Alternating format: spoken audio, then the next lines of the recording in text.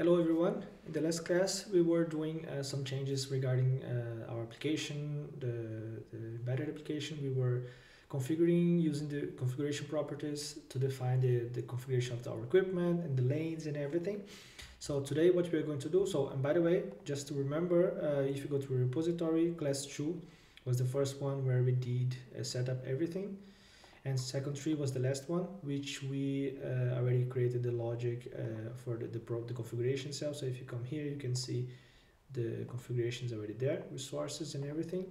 So today's class what we're going to do is to first do some refactoring on our code regarding our domain because it's a bit confusing right now especially when you go on the equipment configuration you have detectors and then you have equipment and it's like a bit of confusing that's one thing which we are going to be doing um, now. So and then next next next uh, class most probably we are going to do some changing on how we are generating the, detections itself. So that's it. Let's start. So uh, let's first again thinking about think about the, the, the equipment itself. So equipment has id lat long and lanes. Uh, when you go to lane the lane has the id and that's it and uh, then we have basically two uh, separated uh, or like not connected domains. We have the lane which shared between the equipment and the detector itself.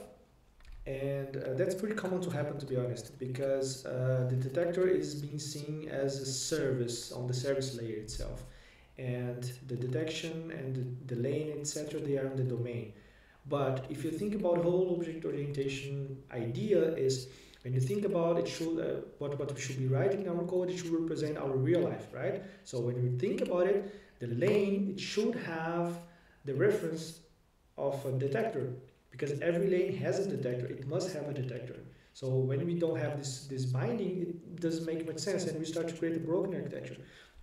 And here, just to make it clear, that's also why we have the interface and not just the implementation because the lane doesn't know anything about how the detection works. If you just have a reference of in, uh, of, of an instance of this detector, it also, it also doesn't know what's a fake detector, what's what's what, what kind of implementation it has.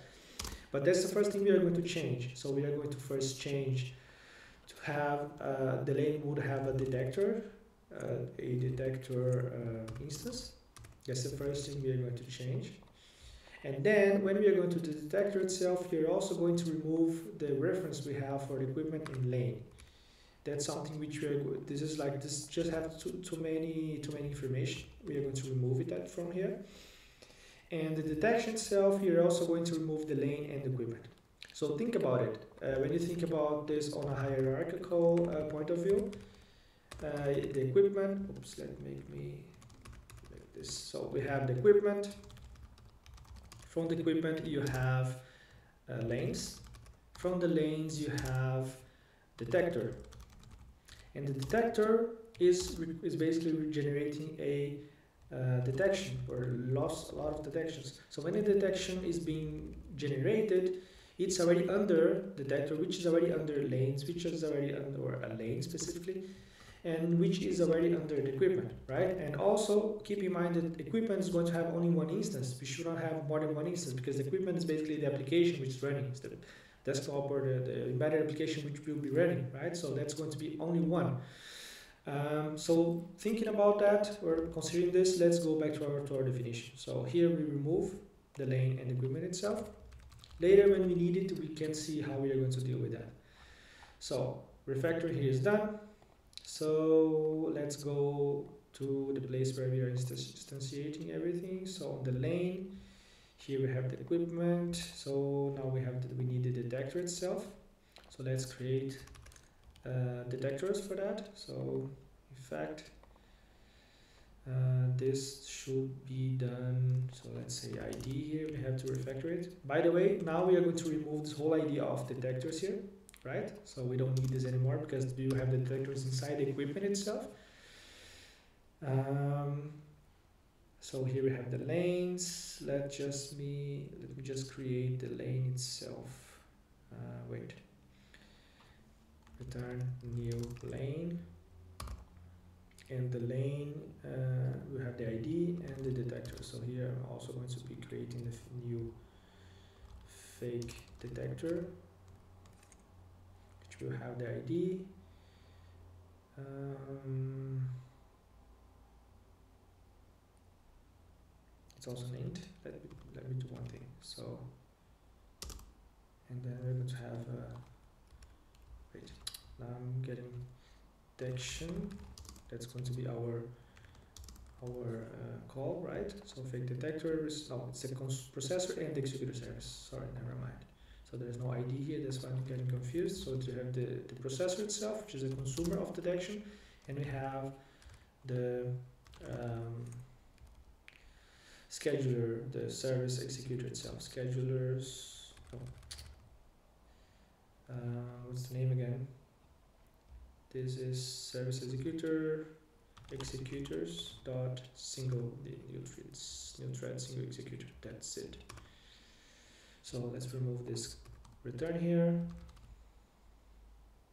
so what we're going to do is basically we're returning the we're creating the lane right and uh, we map so for every lane that we should be creating we are going to create a lane so we create a lane with a fake detector then have the lanes here then we create the equipment then I have the group ID, latitude, longitude, lanes, and that's it. So we can remove that completely from here.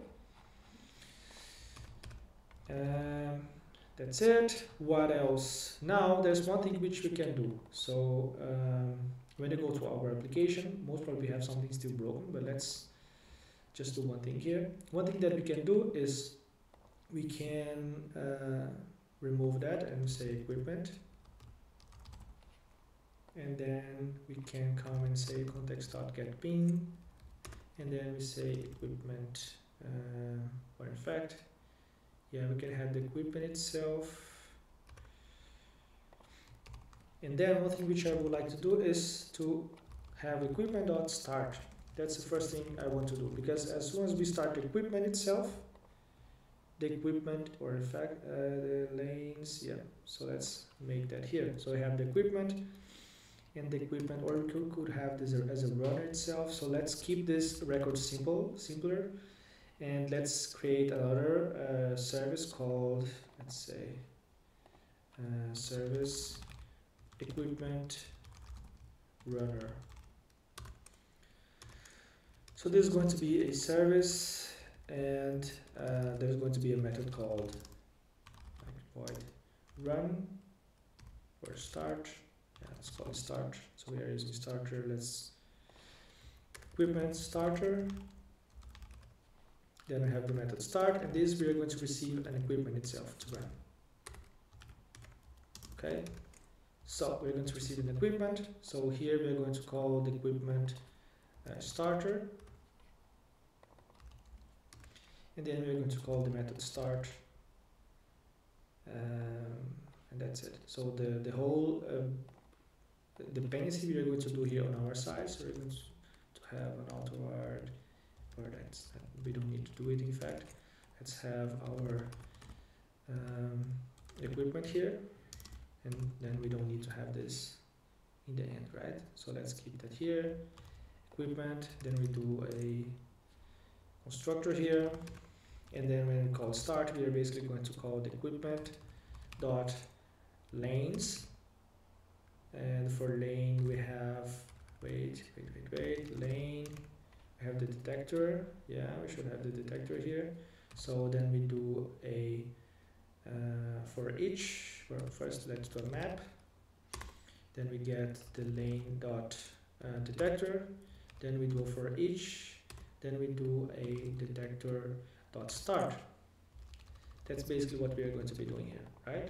So then here we call this. And then now what we need to do is to uh, in fact let me think about it. We don't need to do anything because uh, the list or the when we think about the configuration the equipment is going to be created here already so it's going to be available in the spring context. Then we are going to inject this inside the starter itself. Then it's going to be working. Now the most probably test what exactly is failing here. Uh, that's equipment what's what exactly is that ah that's something else that's the build itself let me remove this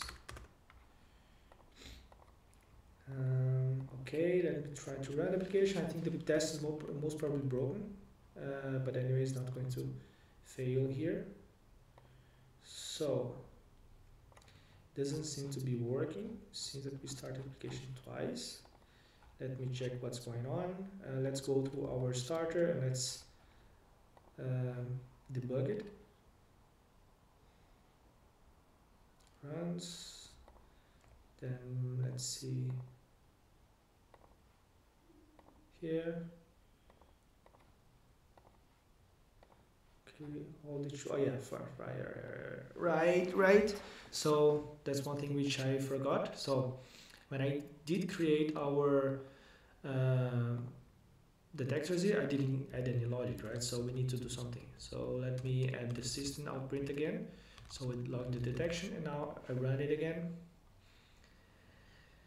And then now you see that's running fine. Okay, so that's exactly what we needed to do. So we did some refactoring on our domain uh, definition here, and now it looks better, at least to me. So uh, that's it for the class today. Uh, for tomorrow's video, I'm going to be uh, doing some changes because now as you see this those definitions or those uh, detections itself they, they are not pretty much useful. They're really uh, not something which you can use because we don't have a plate and the speed is static. So next class we are going to change it okay? So i hope you liked it. Uh, see you in the next video. Bye bye